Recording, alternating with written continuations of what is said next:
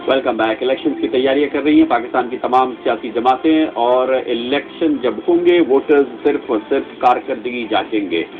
कराची में बहुत बड़ा इलेक्शन का मार्का होगा। इंतबात यहाँ पर मुतहदा कौमी मूवमेंट हमेशा इंतबात जीतती आई है। इस दफ़ा भी क्या मुतहदा कौमी मूवमेंट ये इंतबात जीत पाएगी या नहीं, इस दफ़ा पहली बार है मुतहदा कौमी मूवमेंट ने सूबाई हुकूमत, मकामी हुकूमत पिछले पाँच साल के दौरान मुतहदा कौमी मूवमेंट सूबाई हुकूमत में रही है, पिछले दो साल से मकामी हुकूमत मुतहदा कौमी मूवमेंट चला रही है और इसी की कारकर्दगी बुनियाद पर इंतबात का कराची में ज़रूर नतज का फैसला होगा।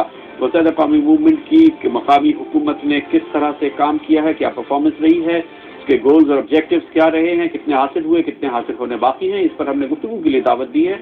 हमारे साथ स्टूडियोज में मौजूद हैं, कराची के नौजवान नाजम आला, जनाब सैयद मुस्तफ़ा कमाल। असलम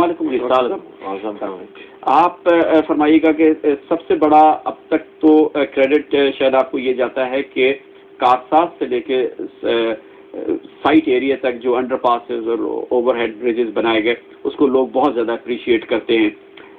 ये सबसे बड़ा प्लान है, आपका इस किस्म का कोई और मनसूबा उसके बाद भी नज़र आया? वेल ये तो लोगों को जो दिखता है बेचारे, ये वो एक परसेप्शन बना है, लेकिन मैं समझता हूँ कि इससे बहुत ज़्यादा कुछ जो है वो शहर में हुआ है, ज़मीन के अंदर और ज़मीन के के बाहर। जैसा कि मैं आपको बताता हूँ कि मेरी पहले दिन से ये ये ये पॉलिसी थी हक गवर्नमेंट की पॉलिसी थी कि हम कॉस्मेटिक्स पे ना जाएँ, हम कॉन्क्रीट पे जाएँ। और मेरे लिए हमेशा से ये ये मैंने अपने लोगों को भी ये कहा टाउन नाजमीन, तमाम लोगों को, ये पॉलिसी सब लोगों को दी कि पानी सेवरेज का जो निज़ाम है, हमें इसको अपने दौर में सही कर लेना है वंस फॉर ऑल और आपको मैं बताऊँ कि सत्रह अरब रुपए का काम इस वक्त हम सिटी गवर्नमेंट कर रही है। एटी परसेंट हम कंप्लीट कर चुके हैं, ट्वेंटी परसेंट रहता है और मजीद जो है उसमें काम होने जा रहे हैं, जिसमें तमाम वंस फॉर ऑल हम जो है वो पानी और सीवरेज के सारे कामों को ऐसी ऐसी जगहों पर जहाँ पर लोगों ने पचास सालों में सोचा नहीं था कि लवानी की लाइनें आएँगी, पानी आएगा, वहाँ पे सीवरेज का निज़ाम डलेगा। वो हमने अलहमदुल्ला सारी चीज़ें कर दी हैं और कुछ जो है वो पाइपलाइन में जो कि कंप्लीट हो जाएँगी।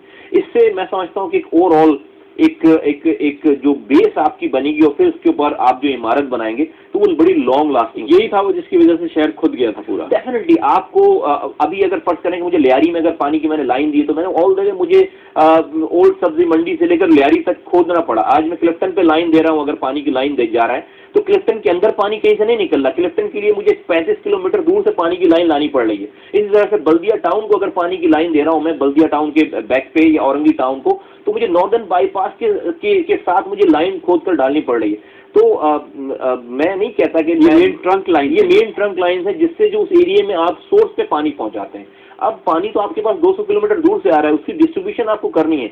वरना अगर मैं गली के अंदर पानी की लाइन डाल दूँ तो पानी तो उस गली से नहीं निकल रहा। पानी को जब तक आप उस गली तक अच्छा बताइएगा कि आप पानी पहुँचाने के लिए इतनी मेन ट्रंक लाइन डाल रहे हैं फिर ज़ाहिर है घर घर पानी पहुंचेगा पीछे पानी है। जी बिल्कुल हमारे पास पीछे पानी है आज का भी पानी है और हम आने फ्यूचर के पानी के भी इंतज़ाम कर रहे हैं। आपको ये मैं बताते हुए खुशी महसूस करता हूँ कि हमने पहला डिसलिनेशन प्लांट का एग्रीमेंट साइन कर दिया एक्वालिंक द कंपनीज़ ने नॉर्वे की कंपनी है, दुनिया की नंबर वन कंपनी है जो यहाँ पर आकर, जिसके साथ हमारा एग्रीमेंट साइन हो गया, और 50 मिलियन गैलन पानी पर डे डिसलिनेशन पानी हम आइंदा आने वाले डेढ़ से पौने दो सालों में हम बनाना शुरू कर देंगे। और इसी तरह से कंपनीज़ अब आती चली यानी मेरी इस तीन कंपनीज़ से डिसलिनेशन की कंपनी से और ये बीओटी पे प्रोजेक्ट है मेरा एक रुपया भी नहीं लग रहा है इसके तो वो कौन से इलाके हैं जहाँ पर पानी का शदीद मसला था और अब आप कह रहे हैं कि इस काम की वजह से उन तक पानी पहुँच जाएगा? मैं सबसे अगर क्लासिक एग्जांपल दूँ आपको कामरमई तो मैं लियारी की मिसाल दूँगा। लियारी जहाँ पर हमारा जो है वो एक यूसी नाजिम भी नहीं है।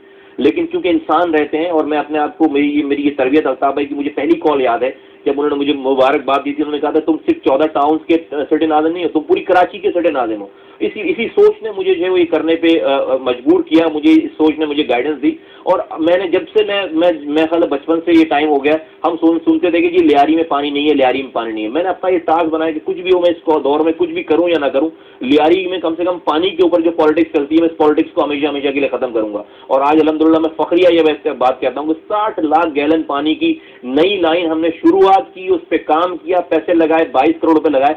आज पिछले डेढ़ महीने से लियारी के लोगों को साठ लाख गैलन एक्स्ट्रा पानी और ये जो शारा कायदीन खुद ही शारा फैसल खुद ही गौरव कब्रस्तान रोड की ये लियारी पानी जा रहा है? नहीं ये क्लिफ्टन पानी जा रहा है। ये ऑल द वे आप देखें कि कश्मीर रोड पूरा हमें खोदना पड़ा हमें शारा कायदीन खोदनी पड़ी हमें गोरा कब्रस्तान के साथ जो है वो क्लिफ्टन में 1958 की लाइन डली हुई है।